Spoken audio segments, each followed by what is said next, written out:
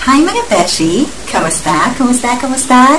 Kumusta naman ang mga buhay? Ayan, I hope you're doing great while watching this video. Sa mga bago sa channel na to, papakilala muna ako. So, I'm T, product reviewer po ako. So, ang mga video na i-expect niyo po sa channel na to is mga product discovery. Mapa skincare man yan, mapa food, mga household stuffs, ganon. So, iba-iba yan. Meron tayong food vlog, meron tayong uh, mga skincare, ganun. Kasi nga, product review ang ating ina-specialize. So, meron din tayong mga cleaning products na nire-review. And for today, syempre, skincare ang ating iba-vlog. Isa siyang sikat na Korean product. And actually, hindi na niya masyadong need ng further introduction. Kasi more likely, kilala niyo na to. So, stay tuned and see you after my intro.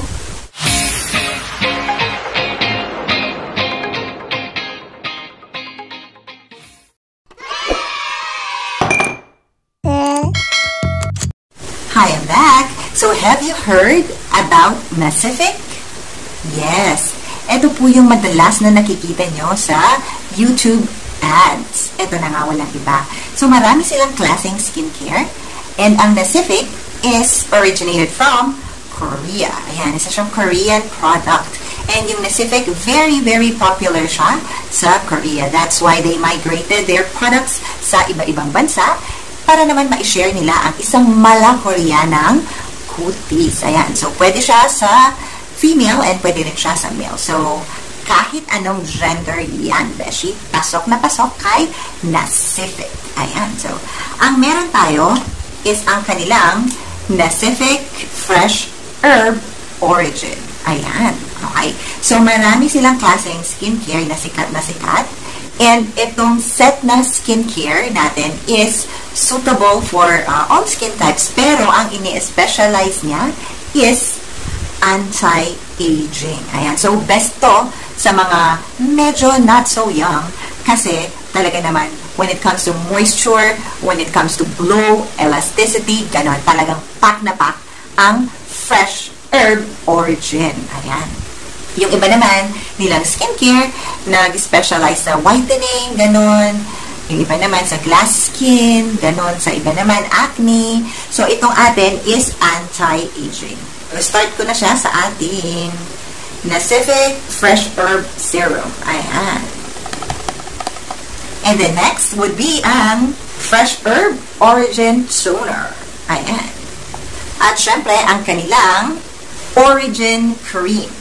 Ayan. Ang ganda-ganda ng cream na to. And then last but not the least, ang kanilang Fresh Herb Origin Mask. Ayan. So, ito ang aking kasalukuyang skincare ngayon, Beshi. Enough muna ako sa mga rejuve-rejuve kasi syempre hindi naman pwedeng pang matagalan ng rejuve sa ating face na gagamitin mo, Beshi, kasi magkaka-side effect siya. Tulad ng Pecas. Ayan. Kasi lalo na sa age ko, medyo talagang nagkakaedad na. I'm already 41 years old and syempre, kailangan ko rin namang mag-concentrate sa needs ng aking skin. Anyway, don't get me wrong, rejuvenating sets are pack na pack for me and hindi lang talaga sila pwedeng for long-term na skincare. Kumbaga, talagang pang-correct lang sila. Pero syempre, pwede mo namang balikan in a while. Pero sa ngayon, pahinga-pahinga muna ako sa rejuvenating sets. So, ang uunahin ko ay ang packaging ng kanilang Pacific Fresh Herb Origin Toner. Ganito, cotton, of course. And then, ang ganda-ganda ng kanilang uh, packaging. Kung hindi nyo lang masyadong kita sa camera. Eh. Pero, nakita nyo yung mga print niya rito ng kanyang uh, flowers is naka-etch pa ng konti, naka-embossed. Ayan. And, of course, dahil Korean product siya, Koreano ang mga nakasulat dito, Belshi. Pero don't you worry, okay, dahil dito, sa kabila, is makikita mo naman ang mga ingredients. Ayan. So, halos napansin ko sa mga ingredients nila is galing talaga sa mga plants and flowers. Ayan. Although, meron din ako nakikitang familiar ko na um, ingredients tulad ng niacinamide, ayan, and uh, glycerin, glycol, Ayan. And then, yung mga iba is mga ano na talaga, mga uh, flower or plant extract. Kaya siya tinawag na fresh herbs. Kasi nga naman, mostly from herbs ang kanyang ingredients. Okay.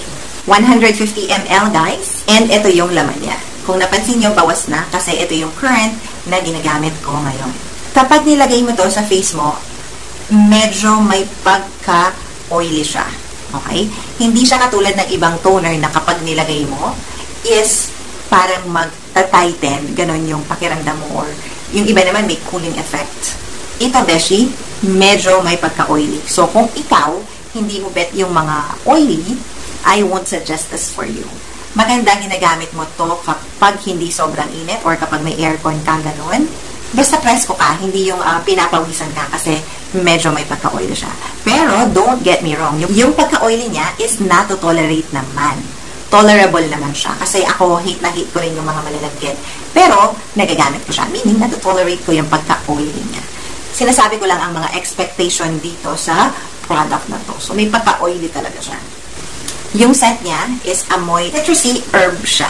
So, you could smell talaga na galing ito sa mga plants and flowers. You can tell by just smelling it.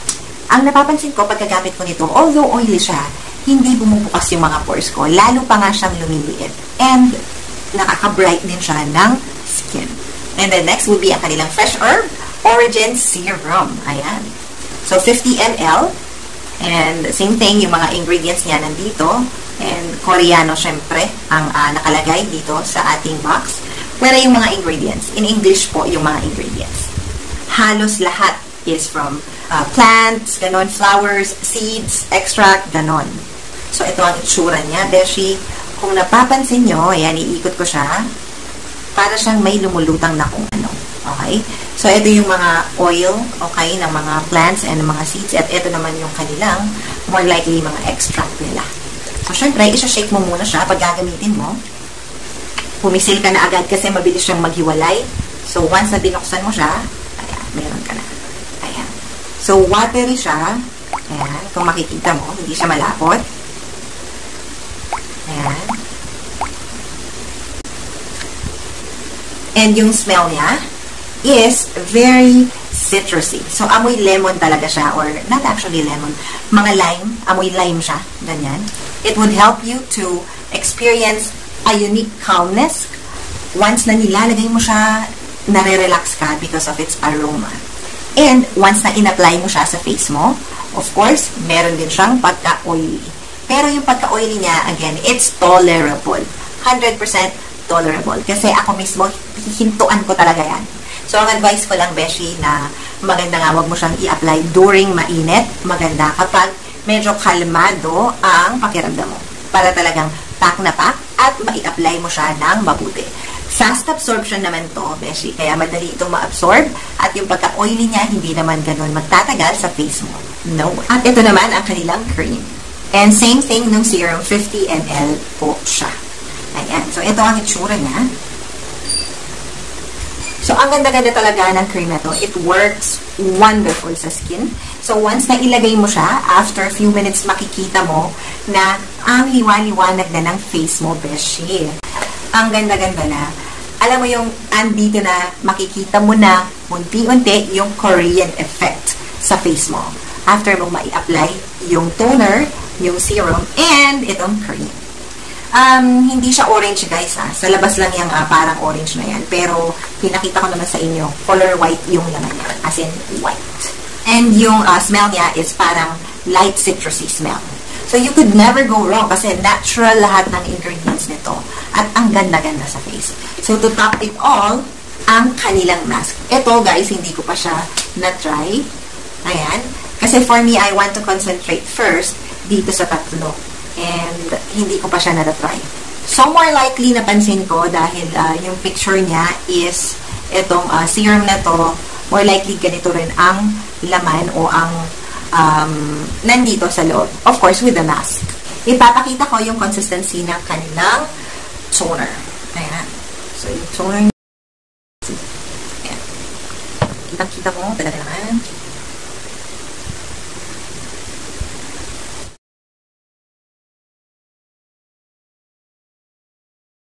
Hayaan mo muna siyang matuyo. So, let it dry muna for a few minutes until it's fully absorbed by the skin. And then, isunod natin ang toner. So, shake, shake. Isil na agad. Kasi minsan, pagbukas mo, nauunahan ka pang mag, ano, mag-subside uh, nung kanyang oil. So, may, so dito natin ilagay. Ayan. Ayan. So, watery siya. Very watery. So, yan ang consistency niya. So, kapag naglalagay ng toner, don't put too much pressure. So, hayaan nyo lang i-absorb ng skin yung um, serum na nilagay. So, hayaan nyo lang siyang ganyan. Laging una ang toner, and then serum, and then yung cream. Sa susunod, gagawa ako ng video na kung papaano or mga skincare guide, ganun. Kung ano ba yung uunahin, kung ano ba yung ihuhuli, ganun. Pagkakasunod-sunod, ayan. Isunod naman natin ngayon yung cream.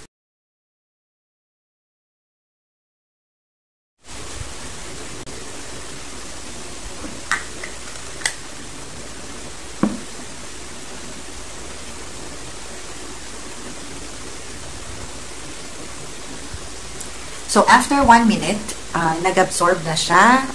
And, ayan yung uh, difference. Kita nyo? Kasi nga meron siyang moisture. Ito yung wala, o, di ba? Plain lang. Siya, nakikita nyo, medyo shiny yung nilagyan ko. Kasi nga, meron siyang dewiness. Ganyan din sa face mo, Beshi.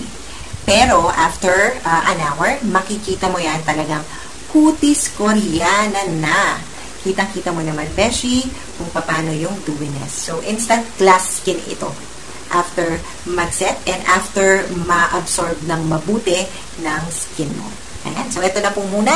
If you are uh, interested sa mga ganito klaseng video, please like, share, and hit the notification bell. And syempre, bonggahin mo na subscribe. Subscribe din, Beshi. I-support niyo po ako, please. Para mas marami pang mga video na katulad nito ang aking magkagawa. Ayan. So, thank you, thank you. Follow niyo po ako sa mga social media ko. Yung Facebook ko is uh, Verly Tolentino. Ayan. And nakalagay naman ang link niya sa aking description box. Yung aking Instagram, Diyos ko po, 200 followers pa. Alright, okay. So, thank you, thank you mga beshi. Until my next video, bye-bye!